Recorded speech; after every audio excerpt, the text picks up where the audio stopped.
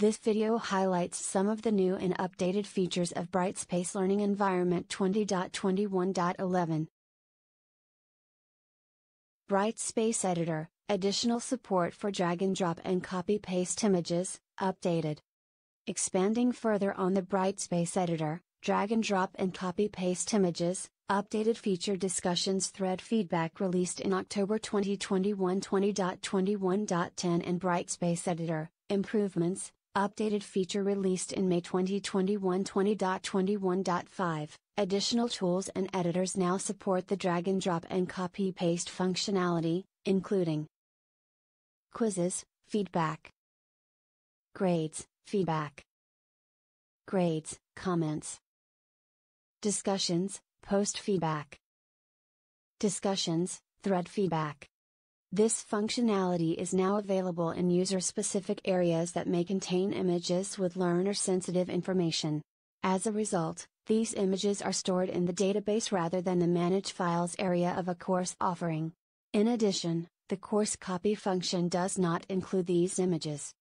This feature is available to all clients and is automatically enabled for all users.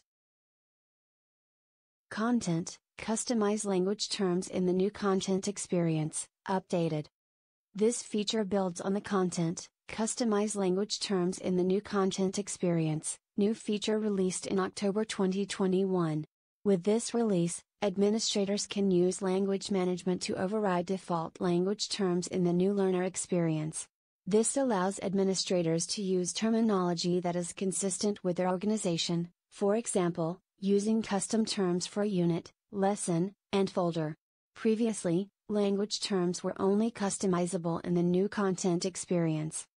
Language terms for the new learner experience are located in Package, Content, Collection, Sequence, View. Package, Web Components, Collection, D2L Sequences backslash D2L Sequences. This feature is available to all clients. To enable, use language management to customize language terms that appear in the new learner experience. Content, PDF inline viewer menu improvements, updated. This feature updates the PDF inline viewer used when showing all converted documents, for example Word documents, as PDFs within Brightspace Classic content.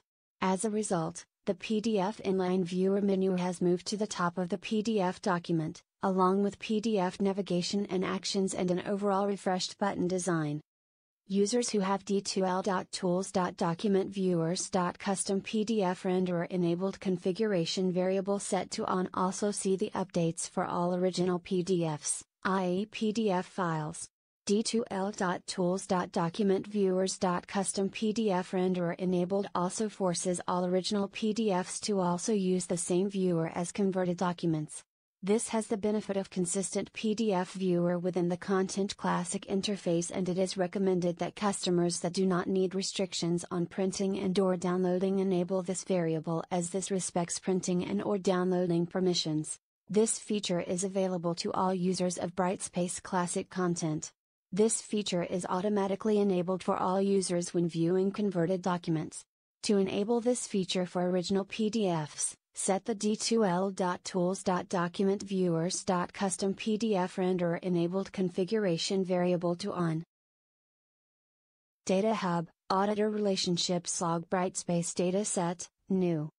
To increase the value of the Data Hub offering, this release adds the new Auditor Relationships Log Brightspace Dataset, aka BDS.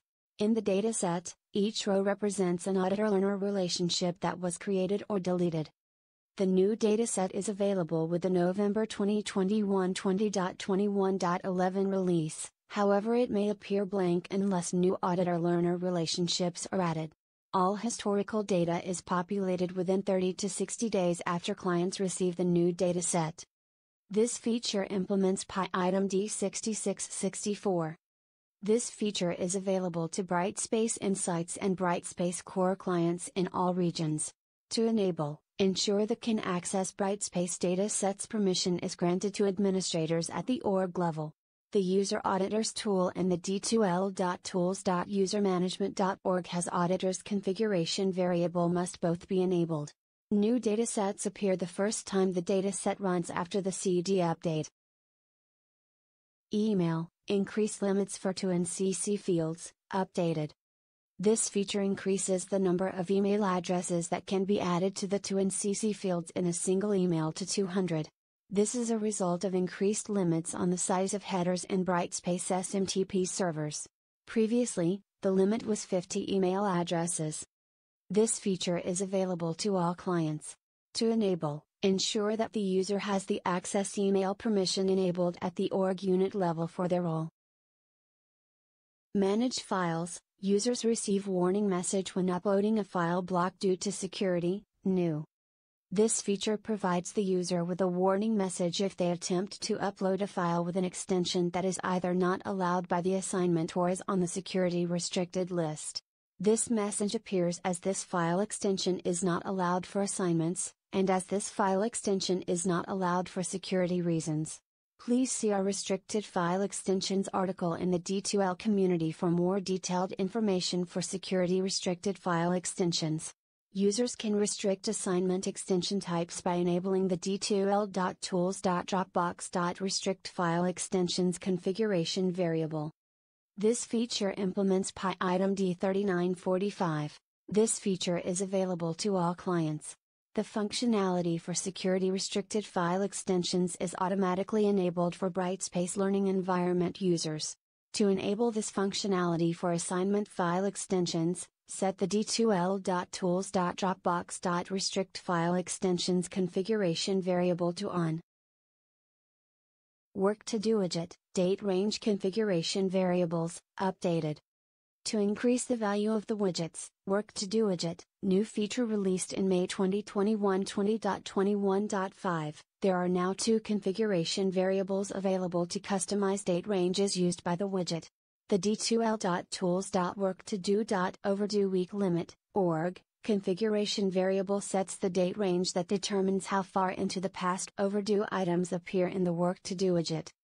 By default, the widget displays items with due dates for the previous 12 weeks, which administrators can increase up to 52 weeks. The d2l.tools.worktodo.upcomingWeekLimit, org, configuration variable sets the date range that determines how far into the future upcoming items appear in the work to do widget. By default, the widget displays items with due or end dates within the upcoming two weeks, which administrators can increase up to 52 weeks. To set these two configuration variables, administrators require the can-see slash edit config variable values permission. This feature is available to all Brightspace Core clients using the Work to Do widget. To set these configuration variables, administrators require the can-see slash edit config variable values permission. SCORM, Improved Editing in New Content Experience, New. An improved editing experience for SCORM topics is available to instructors in the new content experience. With the new Create and Edit experience enabled, a new edit page for SCORM topics allows instructors to edit dates and associated grade items. Previously, users could not set dates or change the associated grade item in the new content experience. The d2l.tools.content.lessons create experience opt-in configuration variable must be enabled in order for the new SCORM editing page to be visible. The new editing experience only applies to SCORM packages added to Brightspace Learning Environment using the content service. Other import methods will be supported in a future release. This feature is available to all clients. To enable with the new content experience enabled, ensure that d2l.tools.content.lessons create experience opt-in is set to on, or on, opt-in.